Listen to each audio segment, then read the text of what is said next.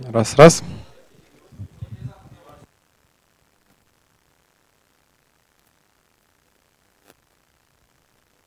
Всем еще раз привет. И мы начинаем интервью наше с победителем сегодняшнего чемпионата, с Арсением Турбо. Представься нам, пожалуйста. Всем привет, меня зовут Арсений Михалев.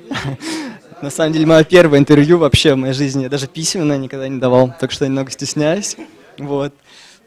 Чем мне 24 года, да, уже взрослый, пора же. У меня 162 года. Да, пора завязывать уже, конечно, с этой игрой. Все, бьюсь, бьюсь, ну, как бы, прям явных таких топ-1 результатов у меня никогда не было. Ну, всегда топ-2, топ-1, как бы, неважно, в каком коллективе я играл. Ну, ладно, продолжай, это я так. Ну вот, в общем, давайте спросим сразу, расскажи нам о чемпионате. Как тебе сегодняшний чемп в Иксе, как тебе сама Икса? Понравилось ли тебе победить на этом чемпионате? Ну, я всегда говорю прямо и честно, скажем так, да. А, единственное, что меня не устраивает, ну, по поводу клуба скажу, единственное, что меня здесь не устраивает, это очень, ну, это, это плохие мониторы, ну, вот, все, это плохие, это плохие мониторы, которые, ну, очень сложно настроить. На большинстве мониторов больше 60 Гц как бы выставить нельзя. Вот, э, ну, потому что дома у нас многие играют на 120 Гц, да, ну, половина команды, у кого там есть хороший монитор, ну, и, ну, как бы это довольно сильно мешает, да. Вот, по поводу организации все очень хорошо, тут хороший кондиционер, мы очень комфортно играли, как бы, ну, прохладно, да, никаких, ну, там физических таких напрягов нет, да. Мы даже не устал, ну, я вот хорошо себя чувствую, да. Ну, то есть спокойно, перерыв... перерывы понравились, что такие были, да? Я просто боялся, что, возможно, слишком долго, а привыкли все обычно играть как? Сыграли игру, 10 минут перерыв, сразу загоняют обратно. Ладно, Турбо, расскажи нам, пожалуйста, а, твое мнение о CSGO. Мы уже спрашивали Вордедита. Вордедит у нас, считай, игрок, который э, одновременно играл в двух дисциплинах, и он мог посудить о CSGO и с одной и с другой стороны. Ты как сорсер, выросший у нас в комьюнити, расскажи нам об этой игре. Какое твое мнение? Ну, я скажем, давай я сразу о трех играх начну. В 1.6 я играл очень мало, но я играл, как бы, да.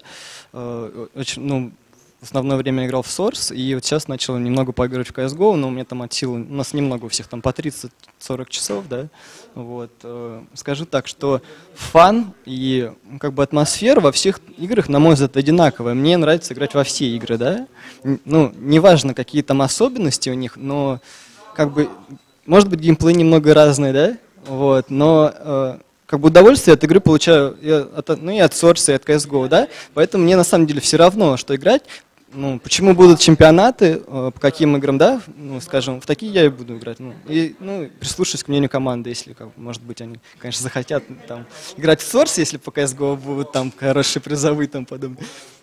Ты их не убедишь, я думаю, да?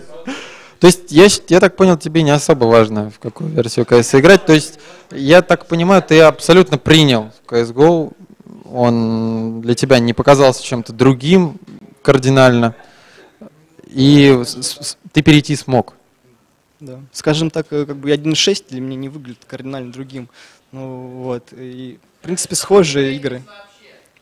Ну, все. Ничего, я все Турбо.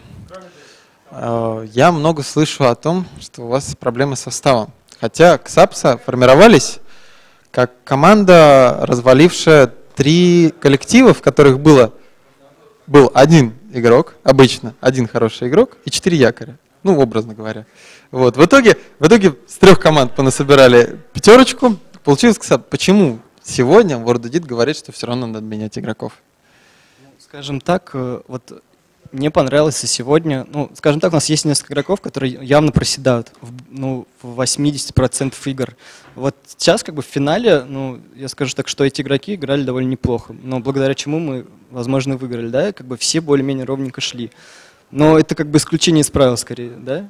Вот, и Гоше не нравится то, что он играет очень стабильно, он самый стабильный игрок, да, вот, э, там парочка у нас, ну, я не буду называть, как бы, которые как бы поближе к нему, да, они ну, стабильно там свой фраг делают, ну, я, я имею в виду себя, там, допустим, не Сенза, да, но Сенза, не, ладно, я не буду, вот, ну, и пара, ладно, ладно, ну, вы все поняли, ну, и некоторые игроки, которые могут жестко пулить, да, поэтому Гоше это не нравится, вот.